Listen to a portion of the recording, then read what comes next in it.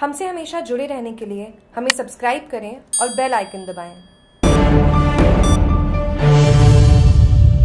भ्रष्टाचार निरोधक ब्यूरो ने सिरोही तहसील कार्यालय पर कार्रवाई करते हुए कार्यालय कनिष्ठ सहायक राकेश कुमार पुनविया को सात हज़ार पाँच सौ रूपए की रिश्वत लेते हुए रंगे हाथों गिरफ़्तार किया सिरोही एसीपी अतिरिक्त पुलिस अधीक्षक नारायण सिंह ने बताया, परिवादी हीरा राम पुत्र लच्छा राम जाति निवासी निवासी कोलीवाड़ा तहसील सुमेरपुर जिला पाली व राजेंद्र कुमार पुत्र धनराज जाति जैन निवासी सुमेरपुर ने परिवार पेश किया था, जिस पर सिरोही एसपी की टीम ने कार्रवाई करते हुए सात हज़ार पाँच सौ की रिश्वत लेते हुए गिरफ़्तार किया गया। जागरूक टीवी के संवाददाता से बात करते हुए एसीबी अतिरिक्त पुलिस अधीक्षक नारायण सिंह इन्होंने ये कहा।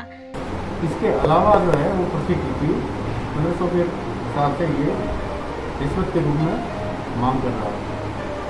इस पर परिवादी ने क्योंकि मैं रिश्वत लिहाज से नहीं दूँगा, हमारे पास आया रिपोर्ट दी और उसको सत्यापन करवाया गया। और उसके बाद में सत्यापन के दौरान भी उसने पाँच डिग्री के, जो है पंद्रह सौ के साथ साढ़े सात हज़ार रुपये रिश्वत के रूप में उसने प्राप्त किए।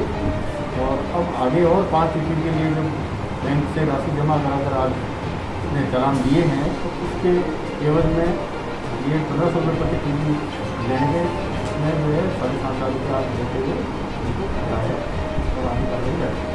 जागरूक टीवी की सिरोही से खास रिपोर्ट।